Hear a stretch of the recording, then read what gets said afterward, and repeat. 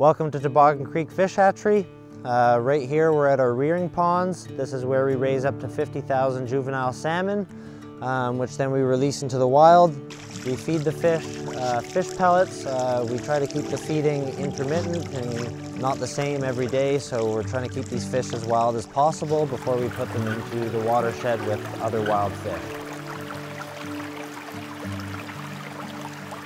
Right here is where we release uh, up to 35,000 coho salmon a year and up to 20,000 Chinook salmon a year. Uh, this creek flows into the Bulkley River, which then flows into the Skeena watershed.